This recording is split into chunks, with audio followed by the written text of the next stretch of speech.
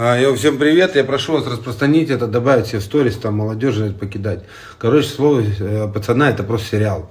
В нем есть художественная составляющая, об этом забывать не надо. Вот эта история, как вчера там зарезали пацана со 15-летнего на остановке Славянс какого-то района, Чушпан, это проявление дебилизма, это проеб старших. На, вот в этом районе старшие проебались, они молодежи не донесли, что это просто сериал, так делать не надо. На улице 23 год.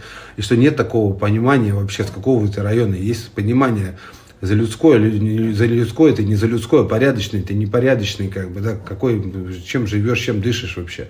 Как бы, а район там, а локация не имеет никакого значения, потому что может быть соседом твоим просто дырявым вообще, а может быть с другого района отличным пацаном. Поэтому, как бы, ерундой не занимайтесь. Что вы там делите? Детскую, блядь, площадку или что вы там делите? Сейчас приедет Федя, Саша и Борис, упакуют вас всех, вы просто будете пачками заезжать на тюрьму, вам там будут задавать вопросы. Будете выглядеть не очень прикольно, потому что вы будете выглядеть странно, объясняя, что вы видели в сериале, повторили, вас закрыли за это.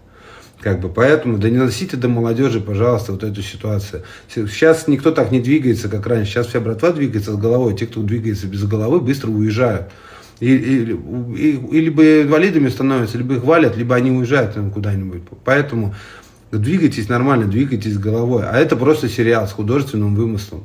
Всем спасибо, а сериал хороший, запрещать не надо. Я не.